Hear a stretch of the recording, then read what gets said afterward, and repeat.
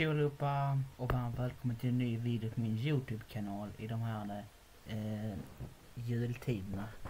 Jag kan sätta på mig min julmössa. Så här helt enkelt. Så. Eh, I dagens video så ska jag faktiskt testa någonting. Eh, någon dricka, någon läsk, italiensk läsk som jag, som jag sa i en kommande, kommande videosarna.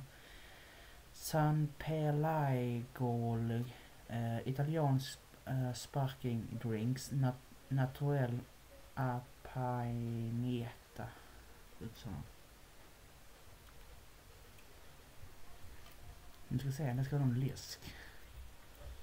Eh, jag har aldrig smakat den så att vi får se.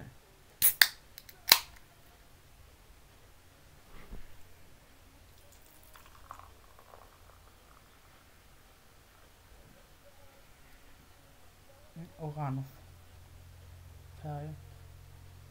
Luktar apelsinläsk typ.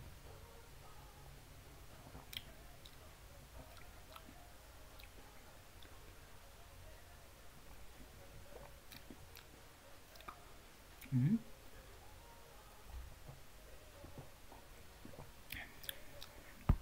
Bra med kolsyra. Um, ja. Står så här då. Eh, 100% någonting. Ska se vad det är i den. Salt, so ah, socker. Ja. Med mera. Så att, eh, ja, den var god. Om ni vet vad apelsins, om ni vet hur apelsinsläsk smakar. Ungefär precis som den vägen. Så det var två tummar upp på den helt enkelt. Betygssättning till 1 till 10. Jo, en eh, klar 8 av 10 helt enkelt. Om du skulle köpa igen skulle jag göra faktiskt. Så det är bra, nice. Jag hoppas att ni gillar videon där jag testade italiensk läsk. Så, så syns vi i nästa video. Hejdå.